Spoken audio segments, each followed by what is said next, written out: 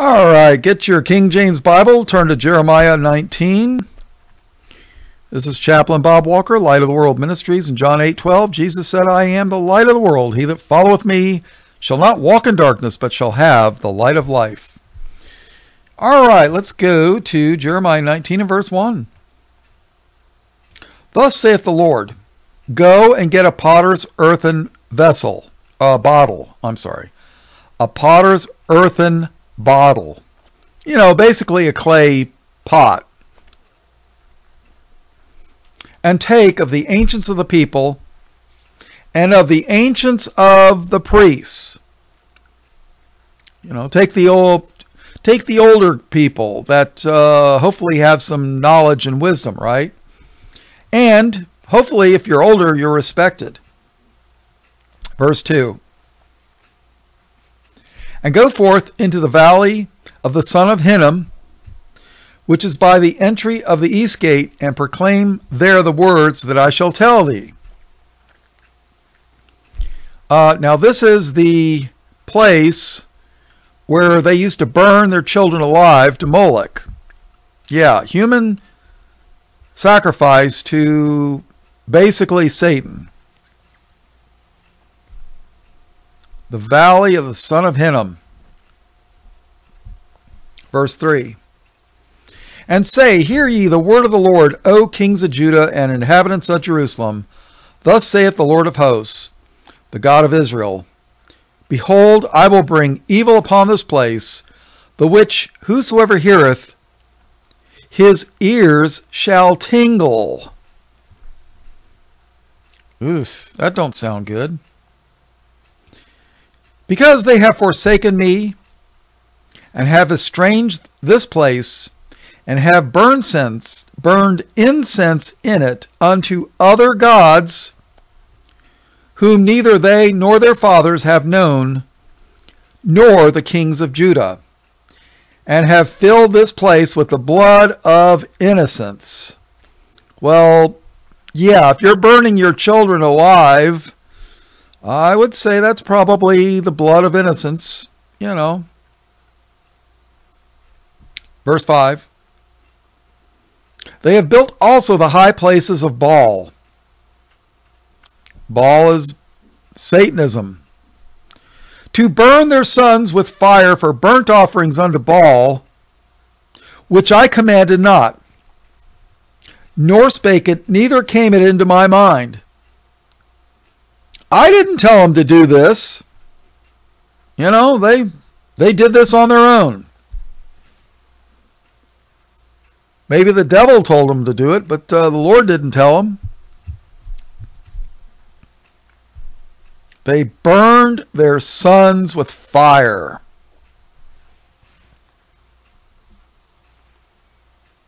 Isn't it strange or a coincidence that uh, they did that down in uh, Latin America?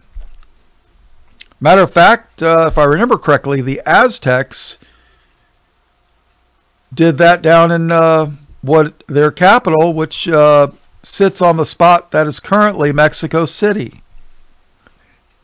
That is, if you could believe what the Spaniards wrote. They did uh, human sacrifice. There's a lot of cultures that did human sacrifice, a lot of them. So I'm sure they all had the same spiritual Father.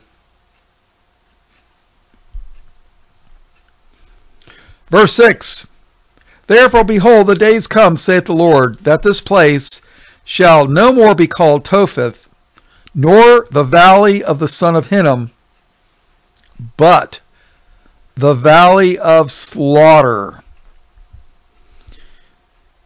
Um, I got to find out. I think this is. Uh, I think this is Armageddon, the Valley of Armageddon. I think so.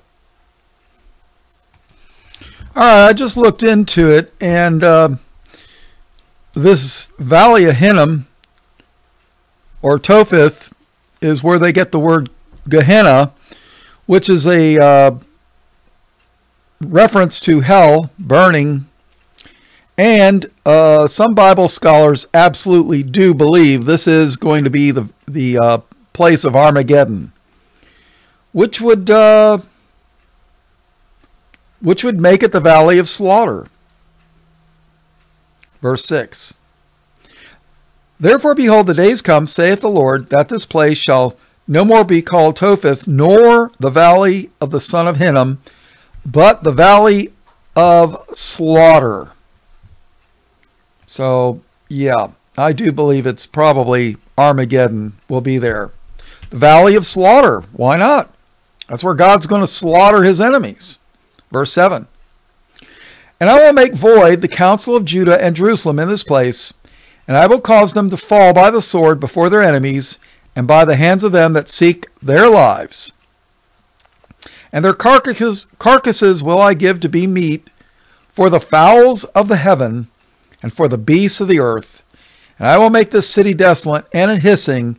Every one that passeth thereby shall be astonished and hiss because of all the plagues thereof.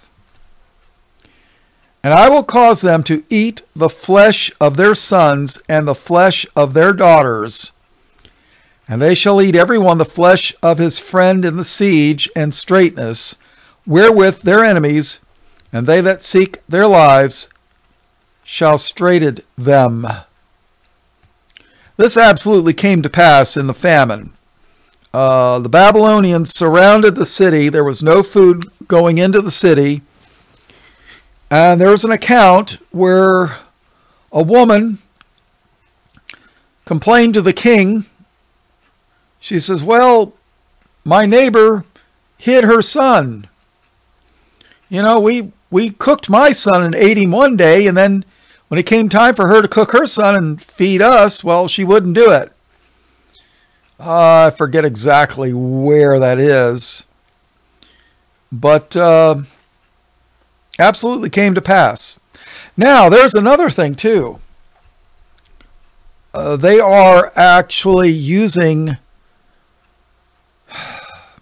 a thing called natural flavors.